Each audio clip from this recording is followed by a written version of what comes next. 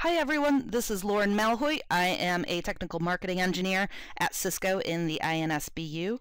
And in this demo video, we're going to be showing how to do the initial fabric discovery. So, spine, so finding our leaf and spine switches. So we log into our APIC in order to do this. We do all configuration from the APIC we click on the Fabric tab because that's where most of our hardware configuration is going to be. And then click on the Fabric membership. As we can see, there's already a leaf that's been found, a leaf switch. Uh, this was found automatically because it's directly attached to our APIC controller. So all we need to do is give it a node ID, which we're using 101, and a node name, which is arbitrary. It should be descriptive. You know, you would decide that within your company. We do recommend using 101 for or 101 and above for leaf switches and 201 and above for spine switches. So we've automatically found our spine switches now uh, because that leaf is attached to both of these spine switches.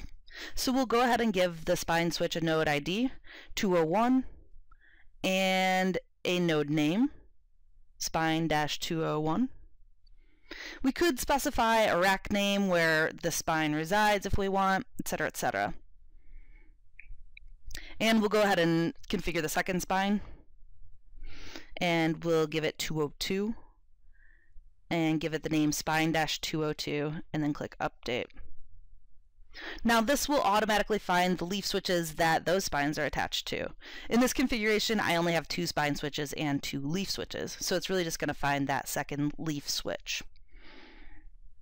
You can see it's also acquiring IP addresses automatically. This is from a pool that I configured in a different area. Um, but these are automatic and these are basically management IPs for those switches. So the second leaf switch will be 102 and we'll call it leaf-102 and click update. And now I've configured my entire fabric. Obviously, if you had more leaf and spine switches, you might want to do this programmatically, which is always possible.